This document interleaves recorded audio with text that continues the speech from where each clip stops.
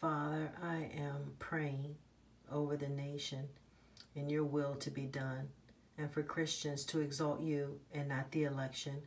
And I see this the word that you gave me for 2021 prepare, prepared, preparing, and preparation. And this piece of paper has been here for at least two months, and you just put my eyes on it. God, please help the church to rise up and be the church. First and foremost, repenting and just asking you, Lord, show me my sin. Show me my sin, even if it hurts, because, like David said in Psalm 51, against you, Lord, have I sinned.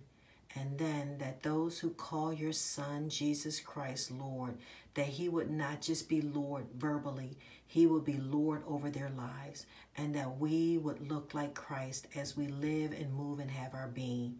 And then the world would see Christians living like Christians, just like the early church in the book of Acts. God, take our head and our heart out of the outcome of the election and remind us that we have the mind of Christ and our mission and our ministry is to exalt Jesus and to share the gospel, to speak the truth in love to our neighbors and our friends and our communities and our loved ones and our co workers, to point them to the Savior.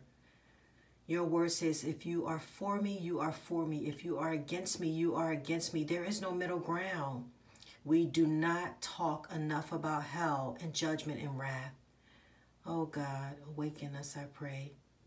Humble us, hear us, hear us, heal us, awaken us, use us for your glory.